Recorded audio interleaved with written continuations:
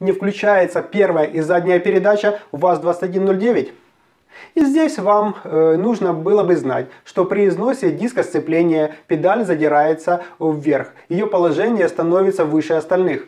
В этом случае при включении может раздаваться хруст, и рычаг больше не перемещается. По ощущениям, будто упирается в преграду. И здесь первая рекомендация. Не стоит применять излишние усилия, поскольку это может привести к более серьезной поломке. Обычно э, летят шестерни. Ведь для такого износа характерно, что э, педаль сцепления э, проваливается в пол и чаще всего это может услышать от водителей 22109. Обычно говорят, не включается скорость. И зачастую это касается всех передач. И но чаще могут отказать первая и задняя. И чтобы это проверить, нужно снять резиновую заглушку. И здесь вы должны знать, что под, от разрушенного диска остаются волокна, похожие на, на спутанные пряди волос.